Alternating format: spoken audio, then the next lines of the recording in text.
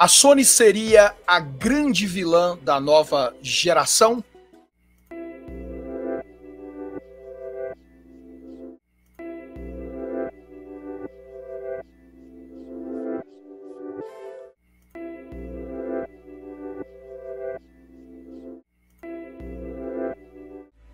Fala galera, aqui é o Belone e hoje nós vamos conversar aqui um pouquinho sobre um tema que é bem interessante, afinal de contas, já tem alguns anos, já tem aí um, dois anos que o PlayStation 5 está no mercado, que o Xbox Series S e Series X também estão no mercado, e a gente não tem ainda jogos que realmente reproduz tudo aquilo que é uma nova geração.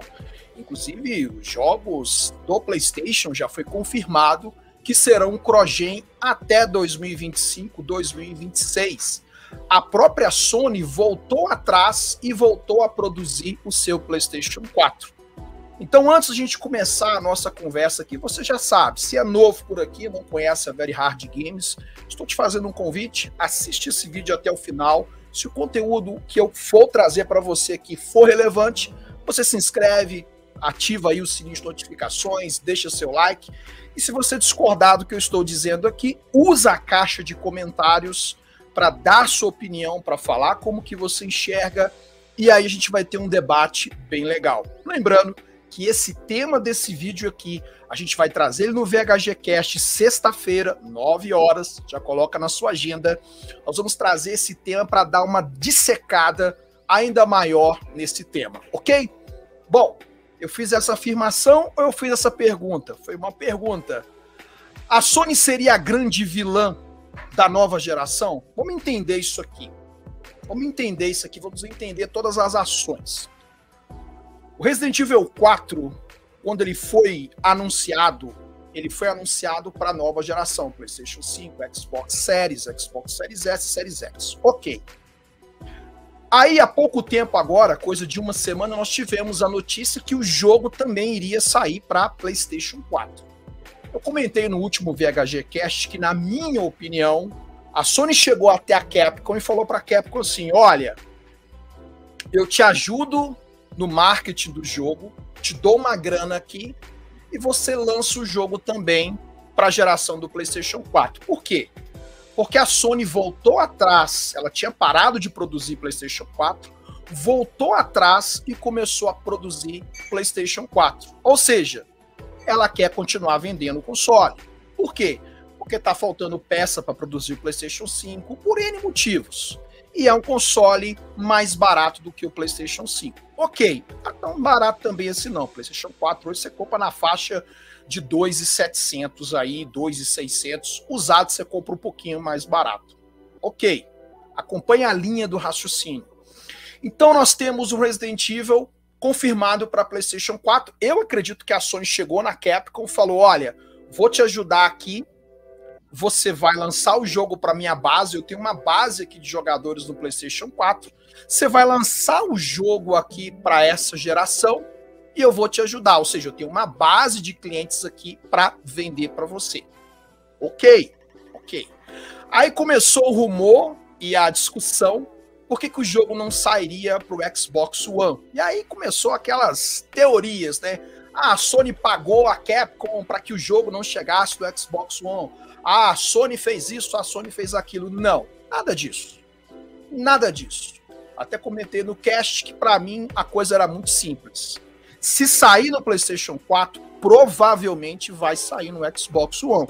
E tudo encaminha, tudo está apontando que o jogo também vai sair para Xbox One.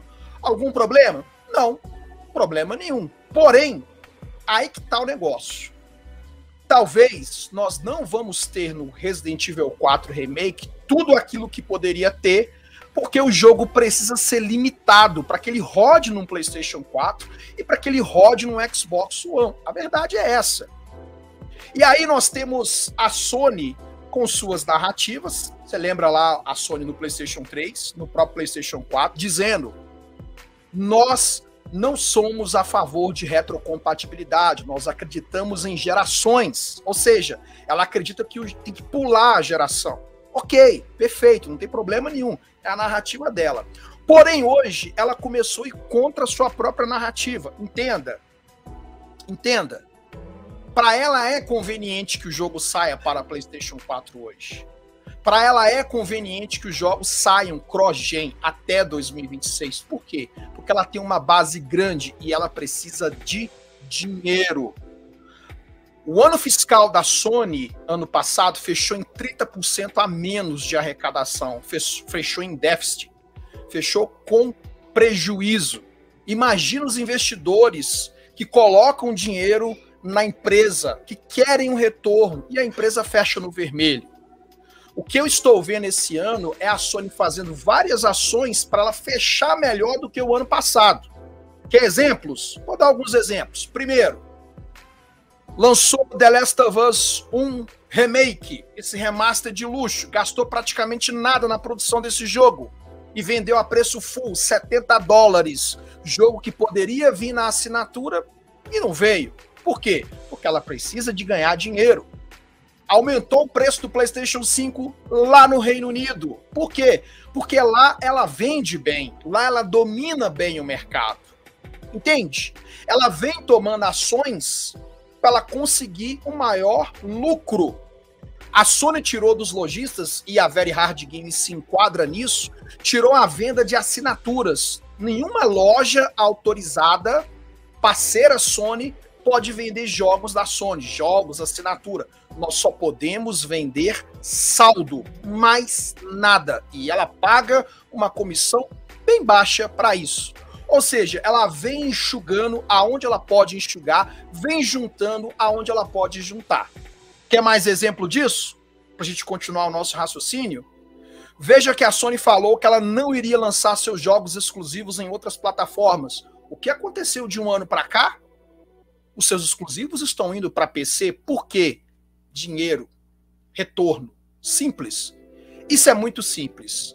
Quando eu falo que a Sony está limitando a geração, é porque ela estendeu os seus jogos, o cross-gen dela, ou seja, até 2026. Por quê? Porque a base maior dela é no PlayStation 4. A base de jogadores maior é no PlayStation 4. PlayStation 5 vendeu bem, mas não o suficiente para ser uma base maior do que o PlayStation 4. Ainda tem a questão da falta de componente, ainda tem várias outras questões que a gente precisa debater. Então, olha bem, quando nós temos uma informação que ela é parcial, a nossa opinião sobre aquela informação também é parcial. Nós precisamos ter a informação completa para emitir uma opinião mais completa. Então, estou te apresentando aqui vários pontos, vários pontos para você avaliar, para você pensar na sua cabeça, a Sony está ou não limitando a geração. Quando eu lanço um jogo cross-gen, e veja lá no início quando a Sony anunciou o PlayStation 5. Ela falou que o God of War Ragnarok seria apenas para PlayStation 5. O jogo vai sair para PlayStation 4. Ela lançou alguns jogos no PlayStation 5 que poderia tranquilamente rodar no PlayStation 4. Vou dar alguns exemplos. Demon Souls, Returnal. Esses jogos rodariam perfeitamente no PlayStation 4. Perfeitamente. O único jogo que talvez não rodaria seria o Ratchet Clank Rift Apart. Só. É o único desses que eles estão falando que são nova geração. É o único. E vou dizer um negócio bem legal aqui. Eu tenho os consoles da nova geração e eu tenho jogado esses games que são jogos da nova geração. E assim, tirando o FPS, que é 60 FPS, isso ajuda bastante, não tem nada demais. Não tem nada demais. Então, quando você obriga um jogo a ser cross-gen, você limita o jogo. Você limita o desenvolvimento. E aí a gente tem situações, situações. Eu acredito que Cyberpunk, se tivesse sido lançado somente para a nova geração, muitos dos problemas que o jogo teve, ele não teria. Battlefield 2, é, 2042 tivesse sido lançado somente para a nova geração, muitos dos problemas que teve não teria. Não teria. Você, gente, é uma loucura. Pensa comigo, você lançar um jogo para Xbox One Fat, Xbox S, Xbox One X, Xbox Series S, Xbox Series X. Aí você vem pro PlayStation, PlayStation Fat, PlayStation Slim, PlayStation é, Super Slim. Eu acho que nem tem o Super Slim, acho que só o Slim. PlayStation Pro, só que são três, quatro consoles. PlayStation 5. Caras, amigos, isso é uma loucura. Isso é uma loucura. Isso é uma loucura. Eu já falei aqui em alguns podcasts e vou falar aqui de novo. Eu acho a Sony uma empresa muito competente na produção de seus jogos. Eu acho a Sony muito competente no gerenciamento dos seus personagens, das suas caras. Eu acho a Sony muito competente no marketing dela. Ela faz contratos e fecha contrato como ninguém, meu amigo. Como ninguém. Olha o Final Fantasy VII Remake aí, meu amigo, que não vem pro Xbox nem por reza brava. Não vem pro Xbox de jeito nenhum, cara. Termina ali o contrato de exclusividade, ela vai lá e já empurra um pouquinho mais. Ela é muito competente. E não tem nada de errado nisso. Isso faz parte do jogo. O que me incomoda na Sony, isso me incomoda muito, é a forma que ela relaciona com o seu cliente, é a forma que ela conversa com o seu cliente. Isso, para mim, é o que mais me incomoda na Sony. Isso é o que mais me incomoda. Eu apresentei vários pontos aqui que a gente pode pensar se a Sony está ou não limitando a geração. Qual é a sua opinião sobre esse assunto? Use aqui a caixa de comentários, coloca seus comentários aqui, fala o que você acha a respeito disso. Lembrando que o Xbox One já foi parada a produção dele. A gente do Xbox só temos o Xbox Series e o Xbox uh, Series X, o Series S e o Series X.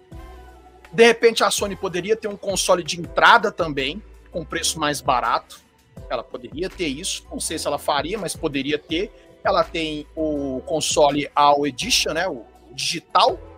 Console digital lá, ela tem, ok. Mas é praticamente o mesmo preço do console com leitor. Entendeu?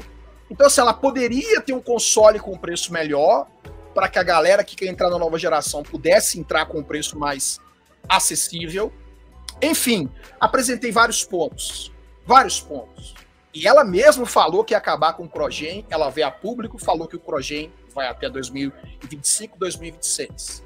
Ela tinha parado a produção de PlayStation 4, voltou atrás e começou a produzir PlayStation 4. Ela falou que jogos sairiam só para nova geração e os jogos vieram Crogen. Quem comprou o PlayStation 5 só para jogar o God of War Ragnarok? Se apertou, parcelou, porque o Brasil todo mundo parcela. Entende?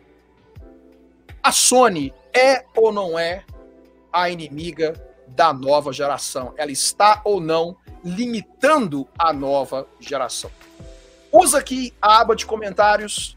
Vou ficando por aqui. Um forte abraço em todos vocês. Valeu, já é. Ah, detalhe: sexta-feira a gente continua esse, esse bate-papo aqui sobre esse assunto. Valeu, galera!